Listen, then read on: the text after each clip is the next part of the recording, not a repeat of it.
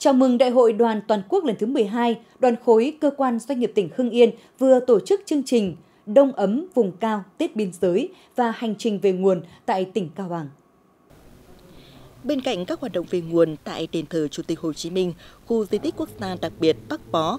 thăm hang cốc Bó và khu di tích Kim Đồng, đoàn đã tổ chức hàng loạt các hoạt động thiện nguyện, tiêu biểu như tặng hai chiếc loa kéo, 100 xuất quà, 300 bộ quần áo ấm với tổng trị giá 75 triệu đồng cho trường tiểu học bán chú Công Trừng, xã Trương Lương, huyện Hòa An, tỉnh Cao Bằng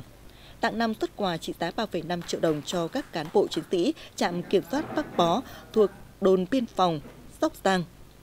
Đây là những hoạt động thiết thực nhằm nâng cao nhận thức cho đoàn viên thanh niên về chủ quyền và toàn vẹn lãnh thổ quốc gia, về vai trò và vị trí đặc biệt quan trọng của vùng đất biên cương của Tổ quốc. Qua đó giáo dục lòng yêu nước, lòng tự hào dân tộc, tình yêu quê hương đất nước, bồi đắp lý tưởng cách mạng, lan tỏa ý nghĩa của những việc làm vì cộng đồng xã hội.